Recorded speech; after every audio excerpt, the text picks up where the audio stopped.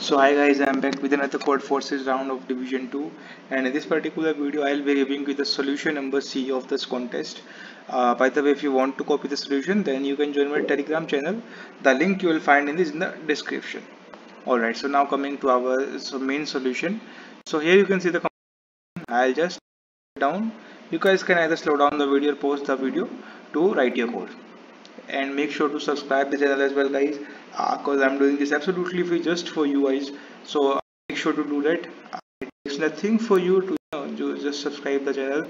Uh, it gives me really a lot of motivation to upload such videos so make sure to do that.